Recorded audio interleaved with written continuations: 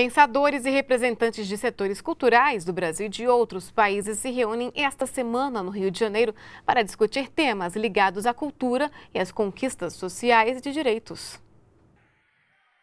São mais de 220 atividades, entre debates, rodas de conversas e oficinas. Os temas do encontro são diversos e traduzem a atualidade mundial. A ideia é refletir sobre o poder da cultura na sociedade.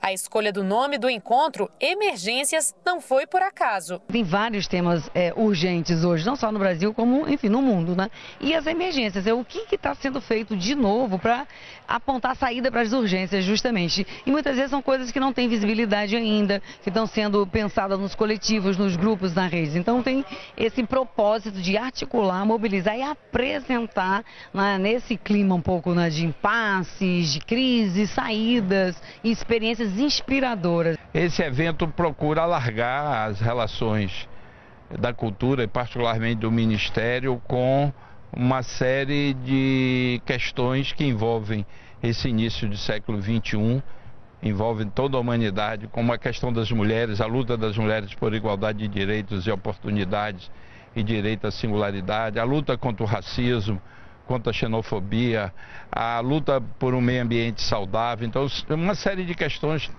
fazem parte do programa que envolvem pessoas de todos os continentes do mundo, que a cultura tem a ver, na medida que a cultura não é só arte. A cultura tem a ver com valores, com modo de vida, com fazeres, saberes. E nós planejamos e estamos fazendo agora. Caravanas de diversos estados brasileiros e também de outros países vieram ao Rio de Janeiro para participar dos debates e atividades culturais do Emergências. São cerca de 5 mil pessoas, entre público, artistas, agentes culturais e representantes do Estado e de movimentos sociais. A gente espera muito debate, muita problematização e muita diversidade. Eu espero muito crescimento nesse âmbito da militância intelectual. Eu espero crescer muito como pessoa também para fechar o ano nos movimentos, na minha militância também. Temos muita expectativa agora em emergências, sobretudo por consolidar os laços, os tecidos latino-americanos. Estamos muy contentos de estar aquí.